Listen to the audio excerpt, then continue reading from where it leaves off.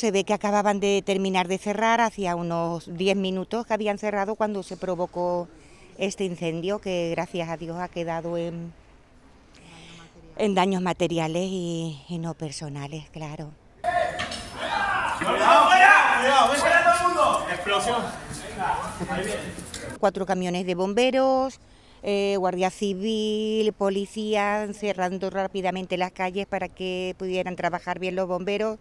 Ha sido una labor estupenda.